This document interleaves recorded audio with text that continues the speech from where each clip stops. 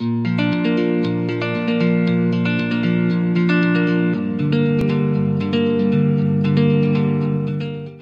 guys my name is Utkarsh and welcome to stuff so guys ये है हमारे Java course for classes ninth and tenth का lecture number eight और आज हम बात करने वाले हैं डेटा टाइप्स के बारे में। तो आइए सबसे पहले जानते हैं डेटा टाइप्स होते क्या है। मैं आपको एक चीज़ बताता हूँ। ये जो हम लेक्चर नंबर एट में डेटा टाइप्स के बारे में बात करेंगे और लेक्चर नंबर नाइन में हम वेरिएबल्स के बारे में बात करेंगे। तो ये दोनों चीज़ें हमारी एक दूसरे से कनेक्टेड है। यानी हम इन दोनों जब भी हम ये दोनों चीज़ हम एक साथ लिखते हैं जावा प्रोग्राम में, कि हम डेटा टाइप और वेरिएबल हम एक साथ ही लिखेंगे हमेशा, इनको हम अलग अलग नहीं लिखते, क्योंकि ये दोनों एक चीज़ें, ये दोनों चीज़ें आपस में कनेक्टेड होती है। तो आइए जानते हैं डेटा टाइप्स के बारे में क्या होते हैं data types data types data types क्या होते हैं? मान लीजिए आपके पास एक वेरिएबल है ए अब इस ए वेरिएबल में आप क्या कर सकते हैं? वैल्यू स्टोर करवाएँगे। तो हमने वैल्यू स्टोर करवाई टेन अब एक ए वेरिएबल होगा, अब इसको कैसे पता चलेगा? जैसे हमारे, इसकी, इसके अंदर कौन सी वैल्यू स्टोर होनी है? हमारे पास देखिए, बहुत सारे हमारे पास कहते हैं, काफ़ी तरह की हमारे पास वैल्यूज़ होती है। कौन कौन सी वैल्यूज़ होती है हमारे पास? एक होती है न्यूमेरिक वैल्यू फिर एक होती है हमारे पास कैरेक्टर वैल्यू फिर एक होती है हमारे पास बुलियन वैल्यू तो ये देखिए, हमारे पास ये तीन तरह की वैल्यूज़ है न्यूमेरिक वैल्यू यानी ten twenty thirty character value यानी कैरेक्टर ए लिखते हैं कैरेक्टर बी लिखते हैं, फिर बुलियन वैल्यू यानी ट्रू और फॉल्स तो अब इनकी, इनमें से कौन सी वैल्यू स्टोर हो रही है, इसको ये कैसे पता चलेगा कि इसके अंदर कौन सी वैल्यू स्टोर होनी है? ऐसा नहीं हो सकता कि हमने एक ए वेरिएबल डिक्लेयर कर दिया, अब हम उसके अंदर कोई सी वैल्यू डाल सकते हैं कि हमें अगर न्यूमेरिक डालनी है न्यूमेरिक डाल दी, हमें बुलियन डालनी है तो हमने इसके अंदर बुलियन डाल दी। नहीं, ऐसा नहीं हो सकता। हमें इस वेरिएबल को बताना पड़ेगा कि इसके अंदर कौन सी वैल्यू स्टोर होगी यानी देख लीजिए, जैसे हमारे पास एक ए वेरिएबल है और मेमोरी में इसको जगह मिली है यहाँ पे। तो ये ए वेरिएबल इस मेमोरी का नाम हो गया। अब हमें यहाँ पे बताना पड़ेगा कि यहाँ पे हम लिखेंगे तो इससे हमें पता चलेगा कि इस मेमोरी के अंदर कौन सी वैल्यू स्टोर हो रही है। यानी न्यूमेरिक वैल्यू स्टोर हो रही है कैरेक्टर वैल्यू स्टोर हो रही है, या फिर बुलियन वैल्यू स्टोर हो रही है। तो वो होते हैं हमारे डेटा टाइप्स जो वेरिएबल को बताते हैं कि कौन सी वाली वैल्यू उस वेरिएबल के अंदर स्टोर हो रही है। तो अब डेटा टाइप्स हमारे पास बहुत टाइप्स के होते हैं। पहले हमारे पास दो टाइप्स की वेरिएबल दो टाइप्स के डेटा टाइप्स होते हैं और फिर उनके अंदर अंदर सब कैटेगरीज होती है। तो अब बात करते हैं हम उनके बारे में।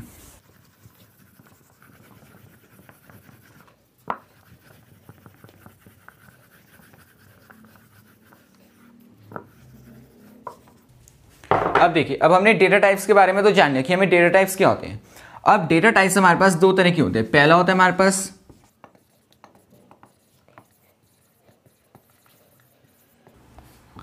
प्रिमिटिव डेटा टाइप्स और दूसरा होता है हमारे पास नॉन प्रिमिटिव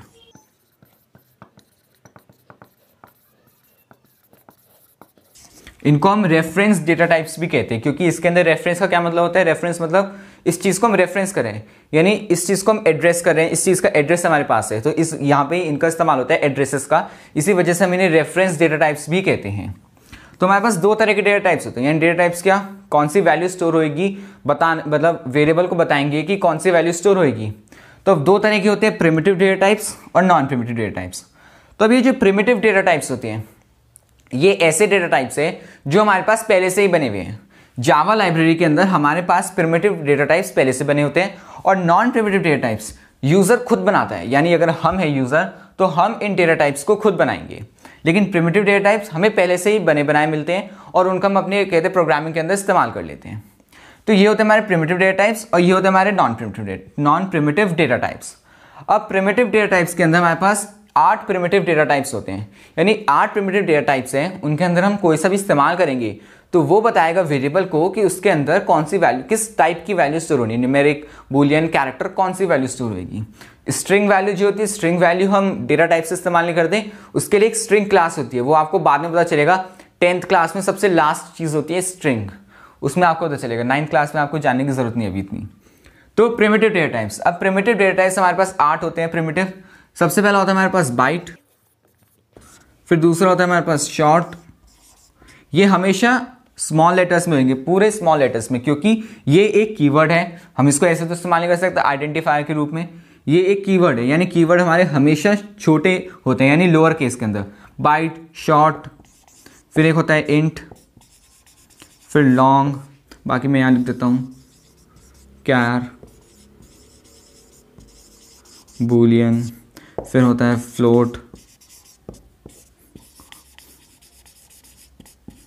और एक होता है डबल तो ये है हमारे पास आठ प्रिमेटिव डेटा टाइप्स यानी ये एक डेटा टाइप है, ये सारे आठ, ये एक डेटा टाइप से ये बताएँगे वेरिएबल को कि उसके अंदर कौन सी वैल्यू स्टोर होनी है। जैसे हमने लिखा, हम एक एग्ज़ाम्पल लेते हैं। हमारे पास एक ये इंट डेटा टाइप है, ठीक है? अब हम यहाँ पे लिख देते हैं। इंट ए हमने यहाँ पे सेमीकॉलन लगा दिया। यानी हमने इस वेरिएबल को डिक्लेयर करा। अब ये वेरिएबल हम आगे अपनी प्रोग्रामिंग के अंदर जब भी हम इस वेरिएबल में अपनी वैल्यू इनिशियलाइज कराएँगे तो अब इस वेरिएबल को पता है कि मेरे अंदर इंट वैल्यू स्टोर सकते हैं। इंट यानी न्यूमेरिक वैल्यू इनमें से ही बाइट शॉर्ट इंट और लॉन्ग ये न्यूमेरिक वैल्यू स्टोर करते हैं।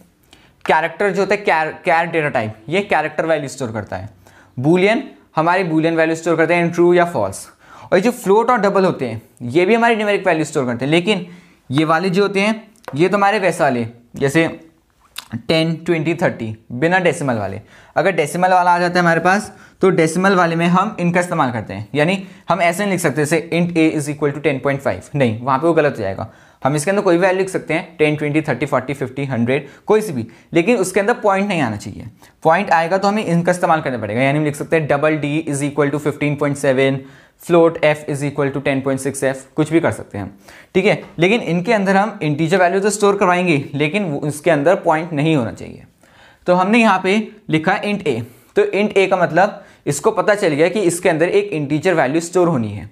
कोई सी भी इंटीजर वैल्यू हो, उससे फ़र्क नहीं पड़ता। हाँ लेकिन इनकी रेंज होती है कि ये इस वैल्यू से लेकर सिर्फ़ इस वैल्यू का इस्तेमाल कर सकते हैं। यानी उस, उसकी रेंज में होगा अगर तो वो एक्सेसिबल है। यानी उसके अंदर वो स्टोर कर सकते हैं। उसके पास इतनी जगह है कि वो उस वैल्यू को स्टोर कर सकते हैं। वो हम बाद में बात करेंगे। हम डेटा टाइप का एक चार्ट बनाए चार्ट बनाऊँगा मैं यहाँ पे।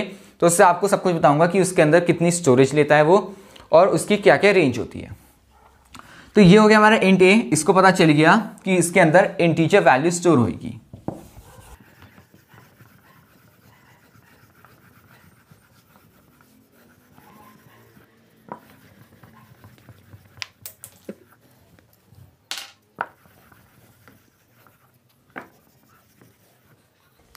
अच्छा तो ये हो गया हमारा प्रिमिटिव डेटा टाइप्स और नॉन प्रिमिटिव डेटा टाइप्स हमें प्रिमिटिव डेटा टाइप्स के बारे में तो पता चल गया। अभी नॉन प्रिमिटिव डेटा टाइप्स जैसे हमें प्रिमिटिव के बारे में पता चला byte short int long char boolean float double ये होते हैं हमारे प्रिमिटिव डेटा टाइप्स अब ये नॉन प्रिमिटिव डेटा टाइप्स क्या होते हैं? नॉन प्रिमिटिव डेटा टाइप्स होते हैं हमारे क्लास एरे या फिर इंटरफेस अभी क्या होते हैं? अभी आपको एरे और इंटरफेस के बारे में पता नहीं, आपको सिर्फ़ क्लास के बारे में पता है।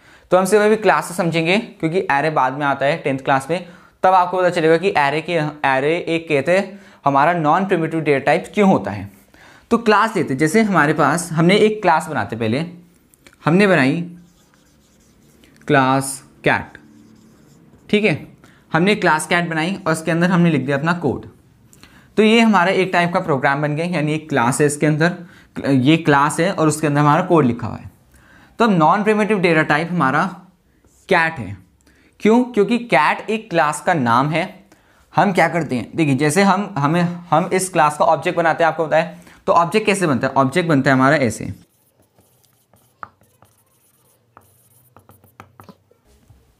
ये हमारा सिंटेक्स होता है तो इससे हमें पता चलता है कि ये हमारा सिंटेक्स है, इससे हमारा ऑब्जेक्ट बनता है। यानी ये जो कैट क्लास थी, इस क्लास का हमने ऑब्जेक्ट बनाया इस सिंटेक्स से। तो अब इसके अंदर क्या होता है? ये जो ओ है, हमारा ऑब्जेक्ट नहीं है ये ओ मतलब हमने ये कैट क्लास थी, हमने इसका बनाया तो ऑब्जेक्ट लेकिन ये जो ओ है, ये हमारा कोई ऑब्जेक्ट नहीं है। ऑब्जेक्ट हमारा मेमोरी में है। यहाँ पे कोई मेमोरी है मतलब मेमोरी के अंदर ये थोड़ा सा हिस्सा है। उसके अंदर जो कैट क्लास का जो ऑब्जेक्ट था, वो ऑब्जेक्ट यहाँ पे बन गया हमारा। लेकिन जो ये जो हमारा ओ इसके पास क्या है? इसके पास ये एक रेफरेंस वेरिएबल है। इसके पास इसका एड्रेस है। यानी इसका एड्रेस अगर हमारे पास कुछ भी हो जाए zero one one zero one one zero हम ऐसा ले लेते हैं, ठीक है ना? तो ये इसका एड्रेस है। अब ये जो एड्रेस है, इसका एड्रेस इसके पास है। मतलब हम जब भी लिखते हैं, जैसे हमारे पास क्या होता है? हमने लिखा है int a equal to ten तो इसके पास क्या एड्रेस नहीं है, इसके अंदर ही है वो वैल्यू ए के अंदर टेन है, क्योंकि ए इस चीज़ का नाम है। मतलब यहाँ पे नहीं, कहीं और मेमोरी में उस एक, उस मेमोरी को हमने ए नाम दे दिया और उसके अंदर टेन है। लेकिन यहाँ पे क्या हो रहा है? ओबीजे अपनी जगह ही है। ओबीजे के पास क्या आ जाता है? इसका एड्रेस आ जाता है। यहाँ पे ऑब्जेक्ट बन जाता है और ओबीजे के पास उसका एड्रेस है। तो रेफरेंस ये तो हो गया हमारा रेफरेंस वेरिएबल यानी इसके पास किसी चीज़ का एड्रेस है। ये भी वेरिएबल है, हम इसको रेफरेंस वेरिएबल कहेंगे, क्योंकि इसने रेफरेंस रख रखा है। अब ये जो कैट है, ये है हमारा नॉन प्रिमेटिव डेटा टाइप यानी हम इसको कह सकते हैं रेफरेंस डेटा टाइप क्यों? क्योंकि ये एक क्लास का नाम है, ये बताती है मतलब जैसे हमने देखा डेटा टाइप्स क्या होते हैं, वो बताते हैं वेरिएबल को कि किस टाइप की वैल्यू स्टोर होनी जा रही है। तो ये बताएगा कि इसके अंदर किस टाइप की वैल्यू स्टोर होनी जा रही है। इसके अंदर कौन सी टाइप की वैल्यू स्टोर होगी कैट टाइप की। क्योंकि ये जो ऑब्जेक्ट है, ये जो ऑब्जेक्ट बना, उसका एड्रेस स्टोर हो रहा है। तो वो जो है हमारा ऑब्जेक्ट वो कैट टाइप का है। कैट टाइप का ऑब्जेक्ट है। तो इसके अंदर पता चलेगा हमें कि कैट टाइप की वैल्यू स्टोर होती है। हम इसको ऐसे ही लिख सकते कि हमने लिख दिया यहाँ पे हमने लिखा इंट इंट टाइप की वैल्यू स्टोर हुई है। नहीं, ये गलत हो जाएगा, बिल्कुल भी। हम जब भी ऑब्जेक्ट बनाते हैं तो हम नॉन प्रिमेटिव डेटा टाइप्स का इस्तेमाल करते हैं, ना कि प्रिमेटिव डेटा टाइप्स का। हम जब भी नॉर्मल वेरिएबल्स के साथ अपना काम करें उनके साथ खेलते हैं तो हम हम किसका इस्तेमाल करते हैं? प्रिमेटिव डेटा टाइप्स का। लेकिन जब भी हम ऑब्जेक्ट बनाते हैं, हम, लगभग हम सिर्फ़ ऑब्जेक्ट में इस्तेमाल करते हैं इनका, और कहीं तो होता नहीं है। जब भी हम ऑब्जेक्ट बनाते हैं या ऑब्जेक्ट नहीं बना रहे, हम सिर्फ़ रेफरेंस वेरिएबल बना रहे हैं। तो उसका इस्तेमाल कर, उसके साथ हम इस्तेमाल करते हैं रेफरेंस डेटा टाइप्स यानी नॉन प्रिमेटिव डेटा टाइप्स का। तो हमारा कैट हो गया। अब हमने कोई और सी क्लास बनाई? क्लास डॉग बना लेते हैं। ठीक है? तो ये जो डॉग है ये हमारा एक रेफरेंस डेटा टाइप है। यानी अब जब भी हम इसका हम ऑब्जेक्ट बनाएँगे अगर तो हम ऑब्जेक्ट कैसे बनाएँगे? डॉग अब रेफरेंस वेरिएबल का नाम देंगे। रेफरेंस वेरिएबल का नाम कोई सा भी दे सकते हैं। जैसे ओबीजे लिखा है, ये ज़रूरी नहीं कि हम यहाँ पे सिर्फ़ ओबीजे ही लिखें। हम कुछ भी वेरिएबल इस्तेमाल कर सकते हैं, लेकिन यही नहीं होना चाहिए, हमने डी ओ जी ऐसे लिख दिया। ये तो हमारा गलत हो जाएगा, लेकिन अगर हमने ऐसे लिखा डॉग डॉग तो यहाँ पे इसे कोई दिक्कत नहीं होगी। क्यों? क्योंकि जावत जो है वो एक केस सेंसिटिव लैंग्वेज है, यानी उसके अंदर अपर केस और लोअर केस अलग अलग है। यानी जैसे मैंने आपको बताया था, जैसे जैसे हमने पहले कीवर्ड्स के बारे में इस्तेमाल करा था तो कीवर्ड्स हमने बहुत सारे बताए थे। एक न्यू कीवर्ड था, जो हमने यहाँ पे भी इस्तेमाल करा है। तो न्यू कीवर्ड हाँ ये हमारा कीवर्ड है, लेकिन हमने अगर इसको ऐसे लिख दिया न्यू कैपिटल में तो ये हमारा कीवर्ड नहीं रहा, ये हमारा बन गया एक वेरिएबल तो हम यहाँ पे, हम ये लिख सकते हैं dog new is equal to हाँ न्यू डॉग तो यहाँ पे क्या हुआ? एक न्यू नाम का वेरिएबल बना हमारा रेफरेंस वेरिएबल जब भी हमने लिखा है यहाँ पे न्यू तो जैसे हमारा जो कंपाइल होगा वो लेफ़्ट से राइट चलेगा हर स्टेटमेंट में। उसको पता चलेगा डॉग डॉग एक हमारा रेफरेंस डेटा टाइप है, फिर वो आगे चलेगा न्यू न्यू हमारा एक वेरिएबल है, जो किस टाइप की वैल्यू स्टोर करेगा, यानी ऑब्जेक्ट स्टोर करेगा। डॉग टाइप का, उसके अंदर डॉग टाइप का ऑब्जेक्ट स्टोर हो सकता है। फिर वो आगे जाएगा न्यू न्यू से उसे पता चलेगा कि इसको मतलब यहाँ पे ऑब्जेक्ट क्रिएशन करना है हमें और उसको वैल उसको हमें मेमोरी देनी है। कहाँ पे मतलब अपनी मेमोरी के अंदर कुछ स्पेस देनी है मेमोरी एलोकेट करनी है। तो यहाँ पे मेमोरी है जैसे। तो जैसे ये न्यू पे पहुँचेगा तो यहाँ पे एक हिस्सा इसको मिल जाएगा, उसके अंदर हमारा ऑब्जेक्ट बन जाएगा और उस ऑब्जेक्ट को जो एड्रेस होगा वो मिल जाएगा न्यू को। फिर उसके बाद ये हमारा कंस्ट्रक्ट कंस्ट्रक्टर होता है, ये कंस्ट्रक्टर आपको बाद में बताएँगे कि क्या होता है। तो अभी आपको ये सब जानना है कि ये रेफरेंस डेटा टाइप होता क्या है। बस ये रेफरेंस डेटा टाइप ये होता है कि वो बताता है कि यदि उसके अंदर कोई ऑब्जेक्ट स्टोर हो सकता है, यानी कोई एड्रेस स्टोर हो सकता है, और वो किस टाइप का होना चाहिए? उसी टाइप का, जिस टाइप का हम बता रहे हैं डिक्लेयर कर रहे हैं। यानी इसके अंदर डॉक टाइप का हो सकता है, इसके अंदर कैट टाइप का स्टोर हो सकता है। तो ये होता है हमारा प्रिमेटिव डेटा टाइप्स और नॉन प्रिमेटिव डेटा टाइप्स के बीच में डिफरेंस डस्टर भी गंदा हो गया।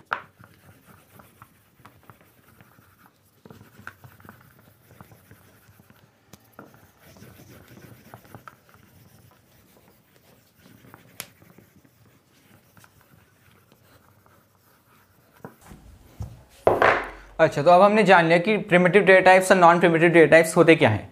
अब देखिए, अब हम एक और चीज़ बात करते हैं डिफ़ॉल्ट वैल्यूज़ के बारे में, कि हर प्रिमेटिव डेटा टाइप की या फिर नॉन प्रिमेटिव डेटा टाइप सबकी एक डिफ़ॉल्ट वैल्यू होती है।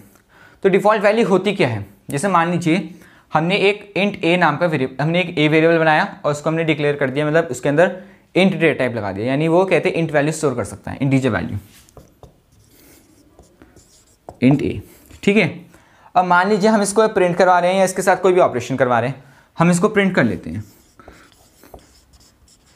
तो system dot out dot print l n और ए ये एक प्रिंटिंग लाइन होती है। बस आप अभी इतना समझिए कि ये जो लाइन होती है, ये प्रिंट करती है हमारी, ठीक है?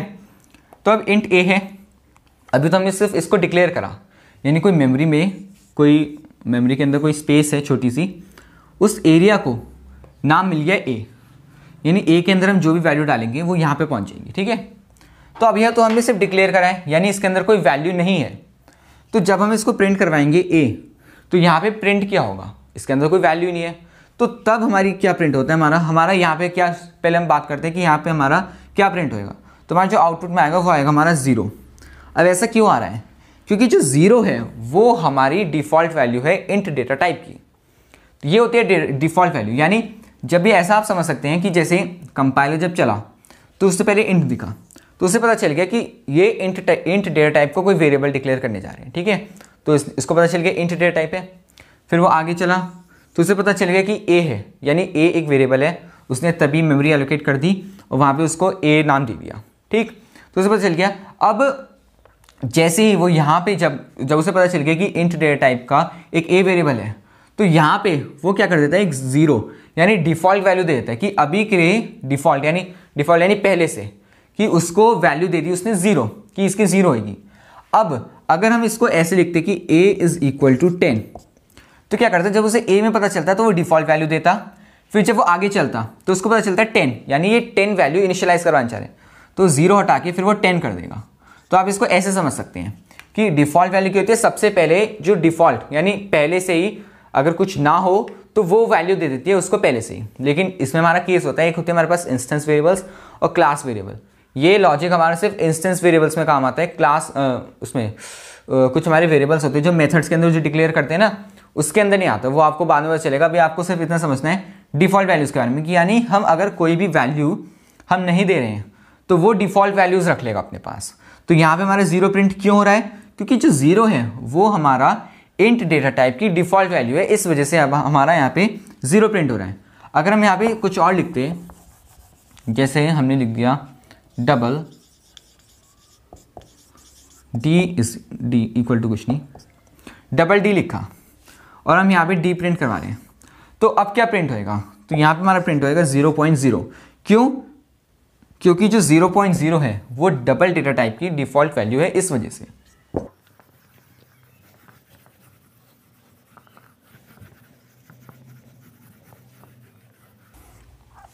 तो अब हम सारे जितने भी हमारे पास डेटा टाइप्स हैं, अब हम उनकी डिफ़ॉल्ट वैल्यूज़ के बारे में बात करते हैं।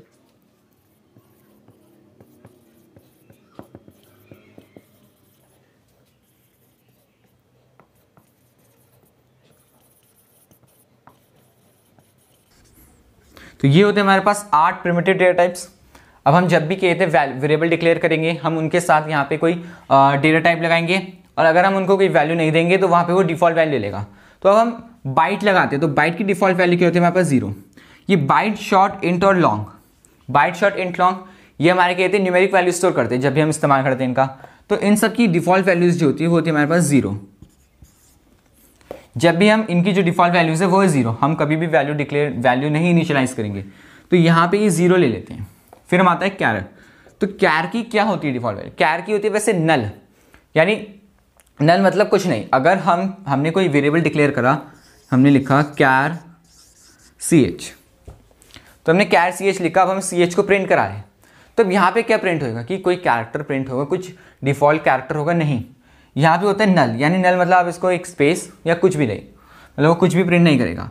लेकिन अब इसकी जो डिफ़ॉल्ट वैल्यू अगर हम लिखना चाहते हैं तो वो हम क्या लिखेंगे? तो इसकी डिफ़ॉल्ट वैल्यू बहुत टेढ़ी मेढ़ी सी होती है। वो होती है हमारे पास back slash u zero zero zero zero ये क्या है? Back slash u zero zero zero क्या है? ये हमारा होता है एक हैश कोड होता है हेक्सा डेसिमल फॉर्मेट में। हेक्सा डेसिमल फॉर्मेट यानी जैसे हमारे पास डेसिमल होता है कंप्यूटर में बाइनरी होता है, एक हेक्सा डेसिमल होता है। तो ये उस लैंग्वेज में लिखा होता है। देखिए, जैसे हमारे पास हमें पता है, हमने कोई वेरिएबल लिख रहे हैं इंट ए अब हमें इसे डिफ़ॉल्ट वैल्यू देनी है हमें तो इसको। तो हम ज़ीरो लिख लेंगे। तो अगर हमें कैर लिखना है कैर सी एच तो अब हम इसको क्या वैल्यू देंगे? कोई हमारे पास कोई वैल्यू तो नहीं चाहिए, हम इसको डिफ़ॉल्ट वैल्यू ही देना चाह रहे हैं। तो डिफ़ॉल्ट वैल्यू हम लिखेंगे कैसे नल नल ऐसे थोड़ी लिख देंगे कि हमने इसको नल लिख दिया। ऐसे नहीं लिख सकते हम इसको। डस्टर भी गिर गया।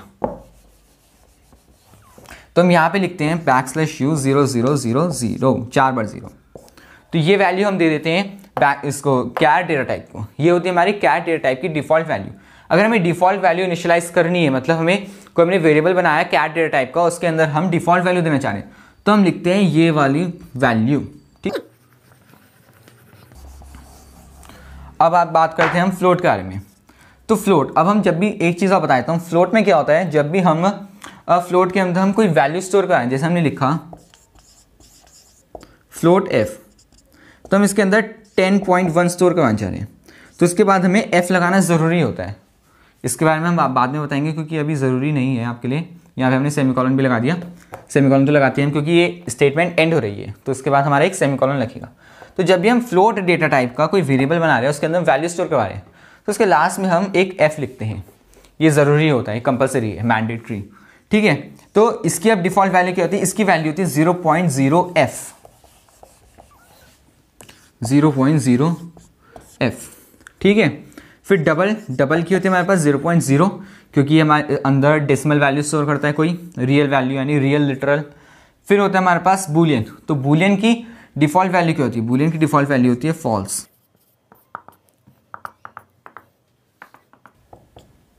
सबके बाद सेम कॉल लगा ठीक है?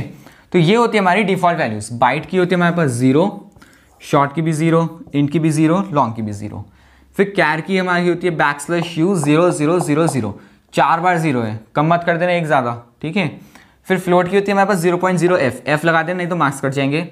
डबल की होती है हमारे पास ज़ीरो पॉइंट ज़ीरो और बुलियन की होती है हमारे पास फॉल्स तो ये होते हैं हमारे पास आठ प्रिमेटिव डेटा टाइप्स और उनकी डिफ़ॉल्ट वैल्यूज़ अब बात करते हैं कि हमारी जो नॉन प्रिमेटिव डेटा टाइप्स होते हैं, उनकी क्या वैल्यू होती है?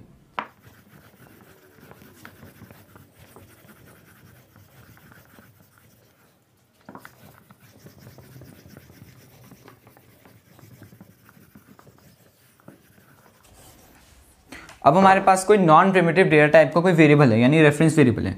तो हमने, मान लीजिए हमने एक डॉग क्लास बनाई थी तो उस डॉग क्लास का हम एक वेरिएबल बना रहे हैं।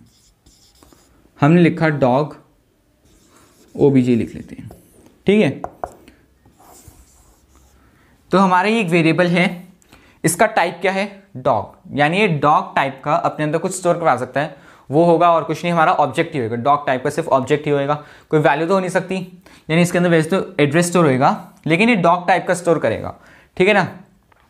तो अगर अगर हमने, इसके अंदर हमने अभी कोई ऑब्जेक्ट नहीं बनाया, हमने क्या लिखा? अभी तो हमने सिर्फ़ वेरिएबल डिक्लेयर करा है। यानी डॉग टाइप का वेरिएबल हमने डिक्लेयर कर दिया। तो अभी हमने ऑब्जेक्ट नहीं बनाया, इसके पास अभी किसी चीज़ का एड्रेस नहीं है। तो अब इसके अंदर होगा क्या? कोई डिफ़ॉल्ट वैल्यू होगी तो अब डिफ़ॉल्ट वैल्यू होती क्या है? वो होती है हमारी नल नल मतलब कुछ नहीं। इसके अंदर कुछ नहीं होगा ये खाली होगा। तो हम हमारी हर बार जब भी हम नॉन प्रिमेटिव डेटा टाइप्स का इस्तेमाल करके अगर हम कोई वेरिएबल डिक्लेयर करवा दें तो वहाँ पे हमारा नल होता है। तो जैसे अगर हम लिखें dog o b j equals to new dog तो आप अब इसको ऐसे समझ सकते हैं जैसे वो आगे गए कंपाइलर उसे पता चला डॉग डॉग डेटा टाइप होएगा हमारा। ओबीजे एक वेरिएबल डिक्लेयर कर दिया उसने क्या करा इसको नल नल दे दिया। यानी इसका रेफरेंस नल है। इसके अंदर किसी चीज़ का एड्रेस नहीं है, क्योंकि इसके अंदर एड्रेस ही होता है। इस डेट इस वेरिएबल के अंदर होता क्या है? इन रेफरेंस वेरिएबल के अंदर। रेफरेंस होता है, यानी कोई एड्रेस होता है। किसी ऑब्जेक्ट का एड्रेस होगा, किसी बाइनरी लैंग्वेज में। वो चीज़ होती है इसके पास, ठीक है ना? तो अभी इसके पास कुछ नहीं है, यानी इसके पास नल है। हम इसको प्रिंट करवाएँगे तो नल ही आएगा हमारा। फिर जब यहाँ पे जब ऑब्जेक्ट बना, उसको मेमोरी एलोकेट हुई, तब इसको उस चीज़ का एड्रेस मिल गया। ये होता है हमारा जब भी हम ऑब्जेक्ट बनाते हैं तो कैसे? डिफ़ॉल्ट वैल्यू मिली, उसके बाद हमारी क्या आई? एड्रेस आया, असली एड्रेस जो भी हमने ऑब्जेक्ट बनाया, उसका एड्रेस आ गया।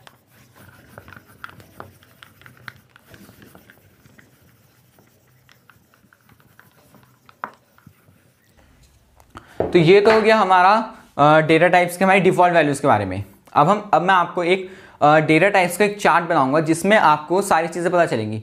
हर चीज़ का, हर डेटा टाइप का साइज़ कितना है उसकी रेंज कितनी है, वो कहाँ तक वैल्यू स्टोर कर सकता है?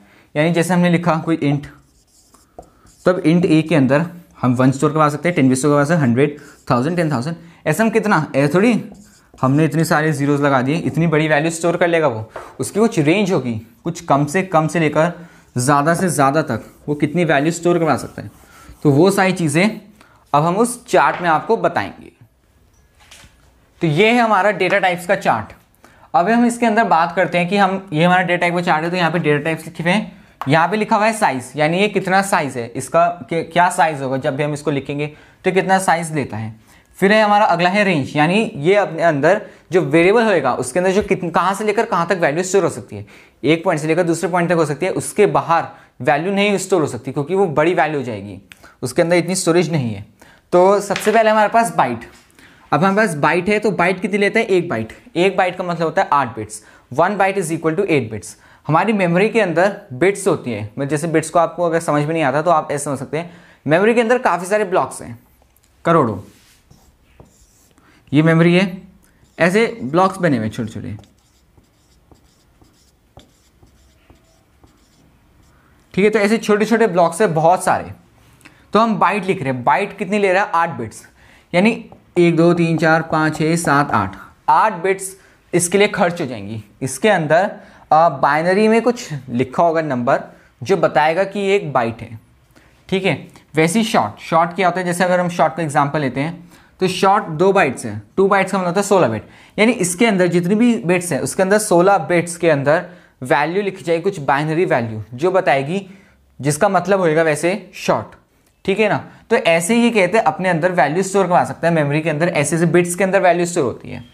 तो वन बाइट क्या वन बाइट की रेंज क्या minus two raise to power two to raise to power seven minus one यानी minus two raise power seven से लेकर two raise to power seven minus one तक जितनी भी वैल्यूज़ हैं, वो सारी हम बाइट के अंदर इस्तेमाल करते byte a is equal to हम कोई वैल्यू उसकी रेंज के बीच में लिखते हैं तो वो वैल्यू आ जाएगी। लेकिन अगर हम इससे बाहर लिखते हैं तो वैल्यू नहीं आ पाएगी। क्यों? क्योंकि वो हमारी वैल्यू उसके अंदर हमारे पास बिट्स ज़्यादा हो जाएँगी। मतलब वो ज़्यादा बिट्स लेगा। ऐसा क्यों हो रहा है? क्योंकि देखिए, हमारे पास जो होता है, जो भी हम नंबर हम वैल्यू में मतलब हमने लिखा जैसे int a is equal to ten तो टेन कैसे स्टोर हो रहा है? टेन खाली ऐसी नहीं स्टोर रखी वन यहाँ पे लिखा गया और ज़ीरो यहाँ लिखा गया इस बिट के अंदर। ऐसा नहीं हो रहा। टेन तो हमारा डेसिमल में है। वो पहले कन्वर्ट होएगा बाइनरी में, क्योंकि कंप्यूटर हर चीज़ बाइनरी में इस्तेमाल करता है। अगर हम कोई वीडियो डालते हैं लैपटॉप पे या कंप्यूटर पे तो वीडियो ऐसे स्टोर नहीं होती। वो वीडियो बाइनरी लैंग्वेज में बन जाती है। One zero one zero one zero ऐसे ढेर सारा कोड लिखा मतलब ढेर सारी वैल्यू होगी बहुत बड़ी। और वो जाके स्टोर होती है ऐसे बिट्स के अंदर। तब हमारी एक वीडियो स्टोर हो रखी होती है। ठीक है तो वैसे ही अगर हम एक नंबर लिखते हैं टेन तो टेन की कुछ बाइनरी वैल्यू होगी बाइनरी वैल्यू जैसे हम एग्ज़ाम्पल ले रहे हैं इसको। One one zero one one zero शायद ये हो, जैसे मान लीजिए। तो वन इस बिट के अंदर, वन इस बिट के अंदर, ज़ीरो इस बिट के अंदर, वन इस बिट के अंदर, वन इस बिट के अंदर, और ज़ीरो बिट इस बिट के अंदर। तो ऐसे ऐसे हर एक बिट के अंदर एक एक वैल्यू स्टोर मतलब हर एक एक नंबर स्टोर होएगा, तब जाके एक वैल्यू हमारी स्टोर होती है, हमारी बिट्स के अंदर, यानी मेमोरी के अंदर। तो अगर हम इससे बाहर लेते हैं तो वो जो है, हो सकता है कि वो बिट्स ज़्यादा लेंगे इस वजह से मतलब बिट्स ज़्यादा ले रही है, इस वजह से वो इसके अंदर नहीं आ सकती, क्योंकि ये सिर्फ़ एक बाइट तक, यानी एट बिट्स तक की वैल्यू ले सकता है, और इस रेंज तक ले सकता है। अगर हम इस रेंज से कम बात करते हैं तो इस रेंज ये जो रेंज जब हमारी इधर की तरफ़ चलते जाएँगे तो हमारी वैल्यू तब भी हमारी बिट्स बढ़ती जाएँगी। क्यों? ऐसा नहीं होता कि मतलब जैसे हम नंबर में लेते हैं ज़ीरो से माइनस वन जो है जो ज़ीरो से कम है। ज़ीरो से कम तो है, लेकिन माइनस वन की बिट्स ज़्यादा होंगी। माइनस हंड्रेड और ज़ीरो में हम कंपेयर करते हैं तो माइनस हंड्रेड जो है, वो ज़्यादा बिट्स लेगा, क्योंकि हम इसको बाइनरी में चेंज करेंगे तो हंड्रेड हमारा वही उतनी बिट्स लेगा जितना हमारा हंड्रेड ले रहा है। माइनस हंड्रेड भी उतनी लेगा माइनस आ गया। तो इस वजह से हमारा मतलब ऐसा नहीं होता कि माइनस जो हंड्रेड है वो कम बिट लेगा। माइनस हंड्रेड हमारा ज़्यादा ही लेगा। ज़ीरो सबसे कम लेगा वन इधर बढ़ती चल जाएँगी बिट्स और इधर बढ़ती चलेंगी। बीच में जो ज़ीरो है वो सबसे कम बिट्स लेता है। तो ऐसे होता है। तो यहाँ से बाहर और यहाँ से बाहर नहीं ले सकते। इसके अंदर जो रेंज है, उसके अंदर जितनी भी वैल्यूज़ है वो सही ले सकते हैं। ऐसी शॉर्ट है शॉर्ट के लिए टू बाइट्स टू बाइट्स यानी सिक्सटीन बिट्स तो इसकी इसकी रेंज ये दे रखी है। Minus two raise fifteen to two raise fifteen minus one फिर अगला हमारे पास इंट इंट कितने लेते हैं? फोर बाइट्स फोर बाइट्स यानी एट फोर से thirty two thirty two bits लेता है. Minus two raise to power to two raise to power thirty one minus one इतनी रेंज में जितनी वैल्यूज़ होंगी वो स्टोर करवा सकते हैं. ऐसी लॉन्ग में है. लॉन्ग में कितनी रेंज है? Minus two raise to power sixty three to two raise to power sixty three minus one फिर आता है फ्लोट फ्लोट के अंदर हमारे कितनी ले सकते हैं? सेवन प्रिसीशन तक वैल्यू आ सकती है. डबल के लिए आ सकते हैं हमारे पास सिक्सटीन प्रिसीशन फ्लोट के लिए सेवन प्रिसीशन हम बात करते हैं, जैसे सिक्सटीन प्रिसीशन सेवन प्रिसीशन है. और ऐसे ही हमारे पास ये ज़्यादा है, ये कम ले रहा है। इसके अंदर इतनी ज़्यादा वैल्यू आ रही है। तो ये अगर हम ऐसे देखते हैं कि हमारे पास जैसे लॉन्ग है लॉन्ग के अंदर ये वैल्यू इतनी रेंज है, ये रेंज इतनी है, जैसे हम यहाँ लिख लेते हैं। जैसे इतनी रेंज है, यहाँ से लेकर यहाँ तक। ठीक है? अब two raise power seven to two raise power seven minus one ये रेंज इसी के अंदर आ रही है देखिए। Minus two raise power sixty three बहुत उधर हो गया। और two raised power six to minus two raised power seven to two raised to power seven minus one इसके बीच में आएगा। मतलब वो इसके अंदर ही आ रहा है। तो हम हर बार इसका क्यों नहीं इस्तेमाल करते? हम इसका क्यों ले रहे हैं? ऐसा हम इसलिए ले रहे हैं क्योंकि मान लीजिए हमारे पास कोई छोटी वैल्यू है, ठीक है? वन टू टेन कुछ भी हो सकती है हमारे पास, ठीक है? तो वो तो हमारे बाइट के अंदर भी आ सकती है, लेकिन हम लॉन्ग के अंदर भी कर सकते हैं। हो सकता है कि वो हमें पता ना हो कि कहते हैं कोई वैल्यू है, ठीक है ना, छोटी सी। अब हमें पता नहीं हो कि बाइट के अंदर आ पाएगी या नहीं आ पाएगी। हो सकता है बाइट में ना आ पाए तो हमने लॉन्ग का इस्तेमाल कर लिया। लेकिन हम हर बार लॉन्ग का इस्तेमाल क्यों ना करें? क्योंकि अगर हमें पता है कि वो लॉन्ग के अंदर आराम से आ जाएगी और बाइट के अंदर भी आ जाएगी तो अगर हम बाइट बाइट के अंदर जो वैल्यू आ सकती है, उसको हम लॉन्ग में लिखेंगे तो क्या आएगा?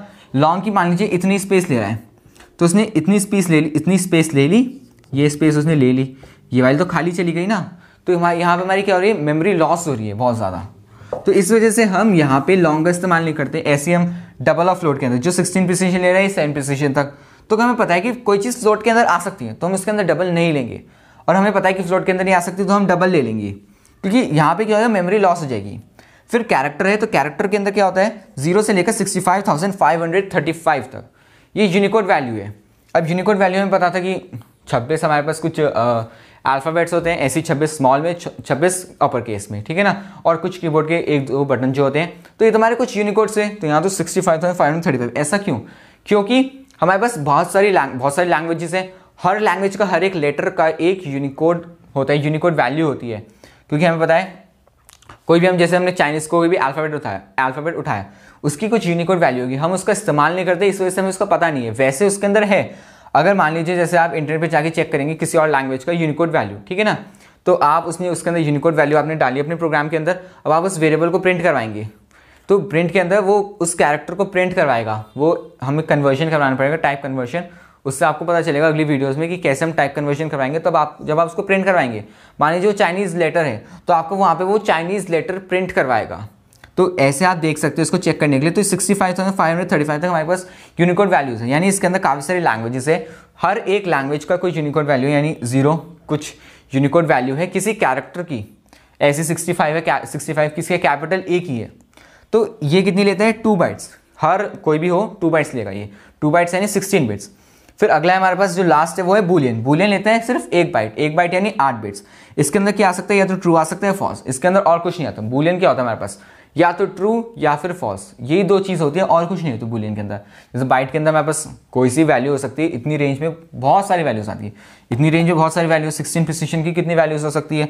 ऐसे हमारे पास ट्रू इसके अंदर सिर्फ़ हमारे पास सिर्फ़ ट्रू होता है या फिर फॉल्स तो ये था हमारे पास डेटा टाइप्स के बारे में। अगली वीडियो में हम वेरिएबल्स के बारे में बात करेंगे, क्योंकि हमें पता है वेरिएबल्स और डेटा टाइप्स एक साथ कनेक्ट है, उनको हम अलग नहीं कर सकते। उनको हम जब भी लिखते हैं, एक साथ ही लिखते हैं। मतलब वेरिएबल को हम अलग लिख सकते हैं बाद में, लेकिन हम कहते हैं, अगर हम डेटा टाइप का इस्तेमाल करें तो हमें वेरिएबल का इस्तेमाल करना ही पड़ेगा, क्योंकि वो आपस में कनेक्टेड होते हैं, उनका एक साथ रिलेशन एक तरह का, आप समझ सकते हैं।